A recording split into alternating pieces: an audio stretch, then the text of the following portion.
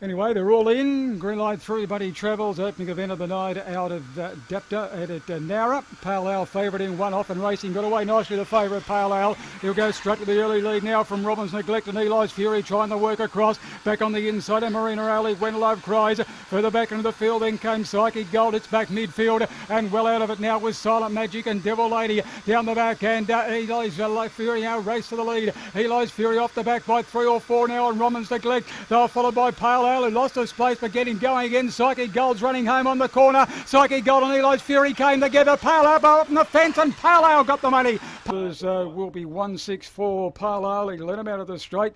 Lost his spot down the back and then he's come back again on the home corner when the two leaders, Eli's Fury and Psyche Gold came.